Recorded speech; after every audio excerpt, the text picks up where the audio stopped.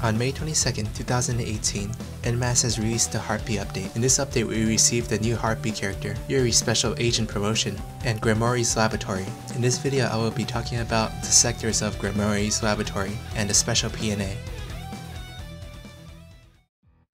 For this content, I recommend a total combat power of 450,000 or more.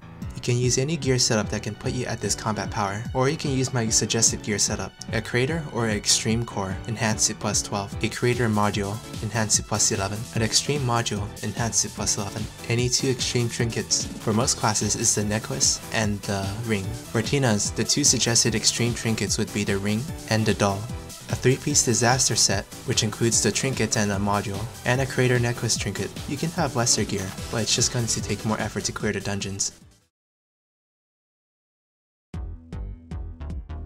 There are three types of sectors in Gremory's laboratory, Mindworks, Bodyworks, and Gremory's central laboratory.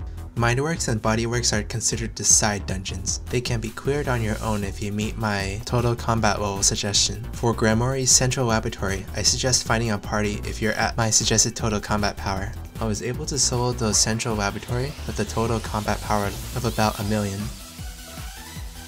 The gameplay in the background is of the Mindworks sector. There's one main gimmick about the sector. Gremory will ask numerous trivia questions about the world's NPCs, and you answer with true or false of the circle or of the X. I will keep a list of questions and answers in the comments section, since there's quite a lot of them, and I may miss out on some if I include them in the video.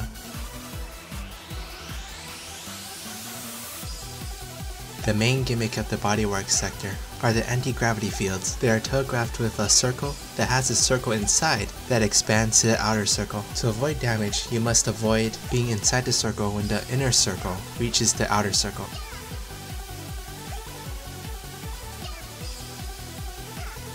The boss of both the Mindworks and the Bodyworks sectors is Dr. Gremory's clone. This boss is not very gimmicky, but his attacks are not well telegraphed and comes out very fast. Try to use skills that reduce his damage while Gremory is attacked and then counterattack while Gremory is recovering from his attacks. When the clone reaches about 40 bars of health, the clone will summon two trucks. You can use either combat dodge or iframes to avoid them.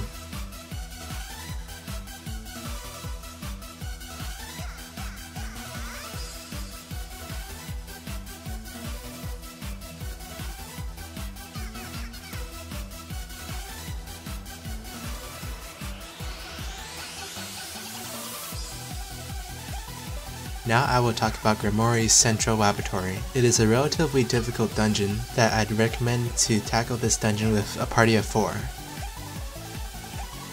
Gremory starts a fight by throwing trucks at you. Avoid the telegraphed circles. Gremory does not have many gimmicks that stops the flow of the fight, but there are some attack patterns that are highly damaging that you would want to avoid. One such attack pattern is her charge, and she begins to pummel the ground. Avoid it at all costs, or use iframes, but skills that give you damage reduction won't save you, because the damage is too damn high. One other attack to be wary of is Gremory's Grab. It has a high armor crash level, meaning it could grab you through most finishing moves. Worst of all, it has no charge up animation, so you'll need to keep your cancel handy. After dealing enough damage, phase 2 will begin. Gremory will begin to throw two large land masses at you. You'll need to get into the center, marked by the green icon.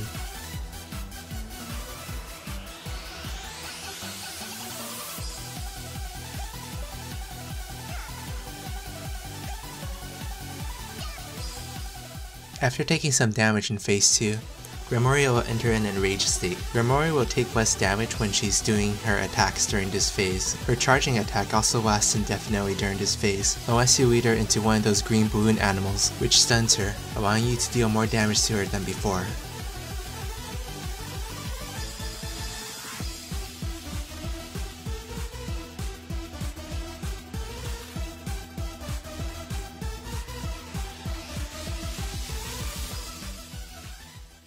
That's about it for the Gremory Central Laboratory. If that's all you needed, you can click off the video. From this point onwards, I will be going over the Special PNA.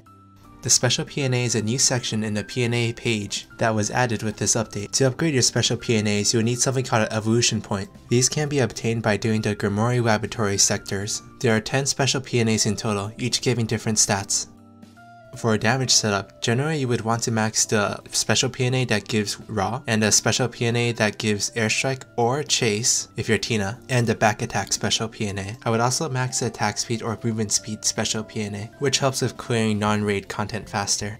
There are 4 items that can assist you in upgrading special PNAs. The PNA upgrade formula increases the success rate, the PNA upgrade shortcut reduces the evolution materials needed, the evolution acceleration battery, which isn't as useful, and a perfect PNA evolution kit which does everything. I use the upgrade shortcut for evolutions with a success chance of 80 or higher. Otherwise, I would use the upgrade formula, and for more bid rates like 50% or so, I would use the full kit and that's about it for the Gremory guide. Sorry for the late upload. Real life has gotten very busy, but everything is settling, so I'll be able to upload these guides faster next time. If this guide was helpful, please give it a like. If you have any questions, post it in the comments below and I'll try to answer. I'll see you guys in the next video.